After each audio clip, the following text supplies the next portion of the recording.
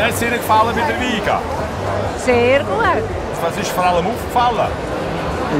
Die hübschen Frauen. Auch ja, Eben, gell? unter anderem. Hey, Frau Müller, wie hat es gefallen?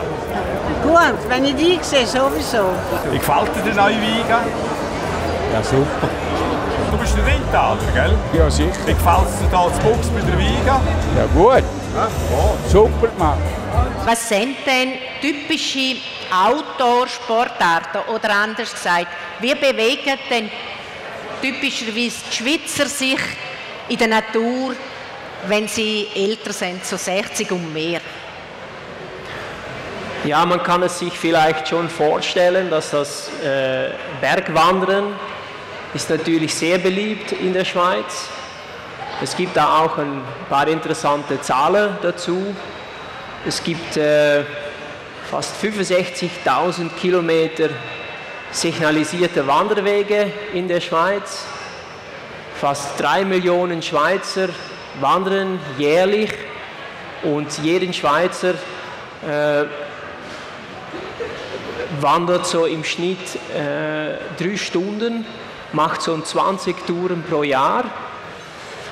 Ähm, weiter gibt es die Rad- und Rollsport, die sehr beliebt ist, also das Mountainbiken und Radfahren, nicht Straßenverkehr mitgerechnet. Der Wintersport ist natürlich sehr beliebt und auch der Wassersport, das Baden und Schwimmen und Bootsport ist auch sehr beliebt bei Personen über 65 und älter. Danke. Wir werden uns da jetzt heute ein bisschen vertieft mit dem Joggen, Wandern, Bergsport, äh, Nordingwalken befassen, mit dem Velofahren, mit dem Schwimmen und natürlich mit dem Skifahren, Langlaufen, Schneeschuhlaufen. Äh, Michael, was sind denn Gefahren, wenn wir gehen, joggen? Auf was müssen wir aufpassen beim Wandern oder auch Nordingwalking in diesen Bereich? Ja, das ist eine sehr gute Frage. Ähm, man sollte vielleicht vorerst wissen, dass es im Schnitt 400.000 Sportunfälle pro Jahr in der Schweiz gibt. Und beim Bergsport, beim Wandern gibt es 25.000 Unfälle pro Jahr. Bei den 65-Jährigen und Alter sind das 8000 Menschen, die sich jedes Jahr verletzen. Das sind mehr Frauen als Männer. Also die Frauen sind mehr betroffen bei Unfällen, wenn es ums Wandern geht in der Schweiz. Und sie verletzen sich hauptsächlich am Unterschenkel und am Sprunggelenk. Auch soll man wissen, dass die meisten tödlichen Unfälle während Bergwandern passieren. Das passiert nicht während Bergsteigen, es passiert nicht während dem Klettern, das auch zum Bergsport gehört. Das passiert wirklich während dem Bergwandern. Und die, das größte Risiko, wobei man tödlich verunglücken kann, ist beim Abstieg. Man sieht, dass die meisten Unfälle, die einen tödlichen Verlauf haben, bei älteren Leuten passieren, weil sie ausrutschen, weil sie stolpern oder weil sie stürzen.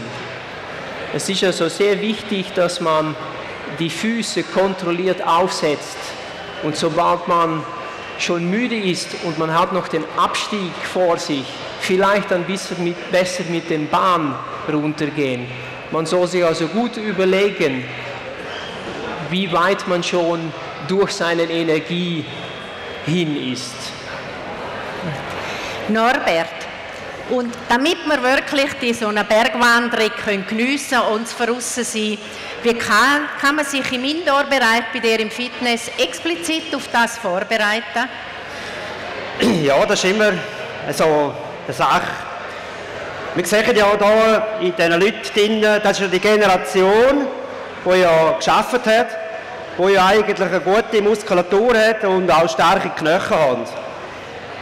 Wichtig ist, dass man sich überhaupt mal in so ein Gesundheitszentrum, wo bewegt und einmal ganz einfach einmal so ein Programm macht. Das ist nichts verrückt.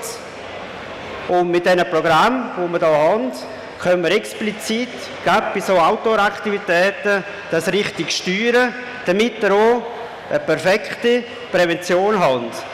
Wir erleben das tagtäglich. Wir haben nicht nur Prävention draussen, sondern auch Sturzprophylaxe und so weiter. Und wenn man dort äh, mit gezielten Übungen, da braucht nicht 100 Übungen, da lange manchmal auch noch 5 oder 6 Übungen, da kann man wirklich äh, gute Sache machen. Und wenn ich hier reinschaue, habe ich auch noch äh, Fudermitglieder, die auch zulassen. Danke vielmals, dass Sie vorbeigekommen sind. Und wenn ihr wirklich die Übungen macht, haben wir eine perfekte Prävention. Merci. Michael, beim Velofahren, jetzt kommt dann der Herbst und sicher hoffen wir, haben wir noch einen Haufen schöne Herbsttage vor uns, wo wir können schöne Velotouren machen können. Auf was schauen wir, schauen, damit wir keine Unfälle haben? Ja, bei den Rad- und Rollsport in der Schweiz, da gehört ja auch das Inline-Skating und das Rollschuhlaufen dazu, das Mountainbiken, das Velofahren. Muss man sich auch wieder bewusst sein, dass es einen Haufen Unfälle gibt. Es, gab, äh, es gibt im Schnitt 32.000 äh, Unfälle, also etwas mehr als bei den Bergsport und unter den 65-Jährigen und älter lediglich 900 Unfälle. Das sind im Grunde genommen die älteren Personen äh, nicht so gefährdet. Äh, in der Regel sind mehr Männer betroffen, also Männer sollten während dem Velofahren doch einiges vielleicht weniger risikoreich fahren. Ähm, und in der Regel sind die Schultergürtel und die Oberarme sind betroffen von Verletzungen. Beim Velofahren soll man genauso wie beim Bergwandern seine Grenze kennen. Es ist sehr wichtig, dass man die Erfahrung macht beim Velofahren, was, man, was es mag leiden. Ich denke, die Intuition ist hier äh, unheimlich wichtig. Danke. Norbert, hast du auch Velofahrer bei dir im Fitness? Wo, wie tun sie sich auf den Sport vorbereiten? Ja, das haben wir. Wir haben viele Velofahrer.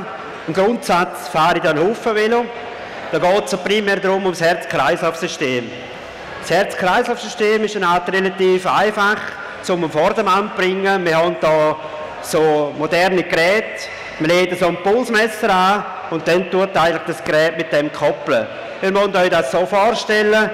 Unser Herz ist ja eine grosse Pumpe, die pumpt ja Blut.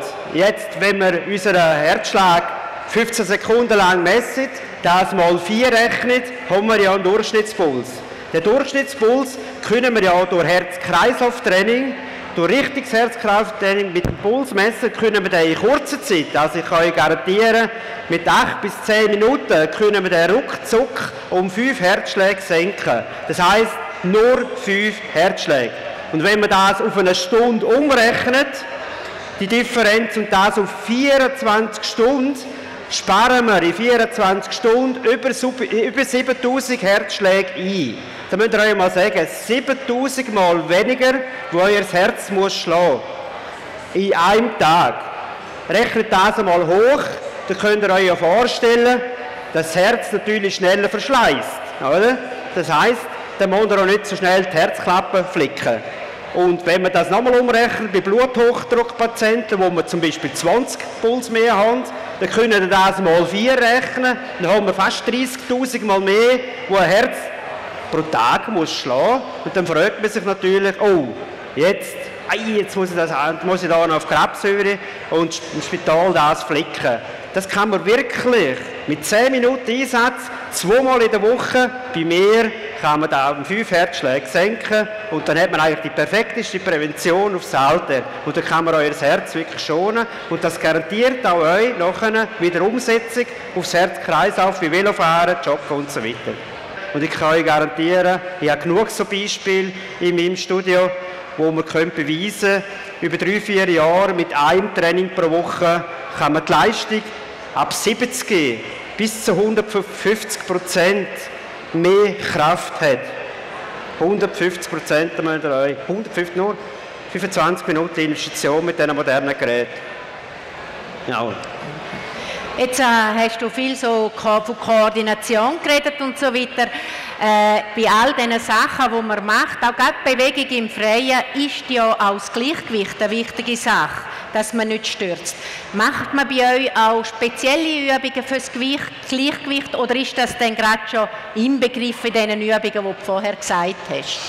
Ja, wenn man eine schlechte Grundvoraussetzung hat, Grundvoraussetzung hat dann tut man natürlich zuerst einmal eine isolierte Übung machen. Und nachher probiert man ja im zweiten Schritt den Ausgleich von der schwachen Muskeln zu machen. Dann müssen wir die noch strecken wegen der Gelenk.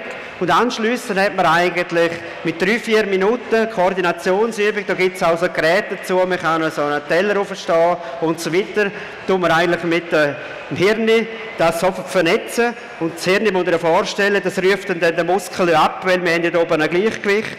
Und wenn ich natürlich schlechte Muskeln habe oder schwache Muskeln, dann ruft er natürlich zuerst einmal ab. Und wenn natürlich der Schwächer nachlässt, dann geht man natürlich über auf den schwachen, auf den stärkeren Muskel. Und der übernimmt. Und wenn der natürlich am meisten übernimmt, wird auch wieder stärker und da kann er auch wieder vorstellen, da haben wir wieder das gleiche Problem, dass die Gelenke wieder nicht schön aufeinander oben sind und das führt dann wieder dazu, dass wir nachher wieder präventiv oder respektive mit viel Bewegungen das natürlich dann wieder demomiert, oder? Und so hat man natürlich wieder ein Problem. Gut. Dann kommen wir schon bald zum Schluss. Ich tue beiden noch mal eine Frage stellen. Michael, was würdest du empfehlen, wenn du nur drei Sachen empfehlen Die drei wichtigsten Sachen. Ganz knapp. Also ich denke, man sollte sich bewusst sein, dass man bis in das höchste Alter, und ich rede wirklich von 95, ich rede wirklich von 100 Jahren alt, dass man bis in das höchste Alter trainieren kann und eigentlich auch sollte. Es ist ganz wichtig, dass man ähm, den Spruch Vorbeugen ist besser als heilen, dass man diese sich zur Herzen nimmt.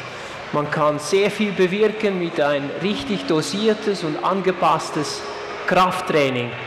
Es muss natürlich auf sie zupassen, es muss auf sie abgestimmt sein. Das kann man heutzutage in Fitnesszentren erwarten, das kann man von Physiotherapeuten erwarten.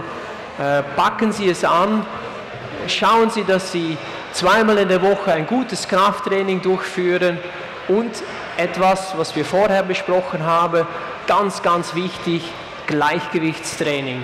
Machen Sie jeden Tag Gleichgewichtstraining. Es gibt einfache Übungen, Sie können diese Übungen dann erschweren, man muss sich halt gut informieren.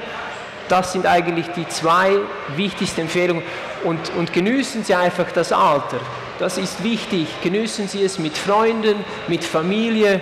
Es ist wichtig, dass man das Leben bis zum Ende genießen soll. Ich wünsche Ihnen alles Gute. Dankeschön.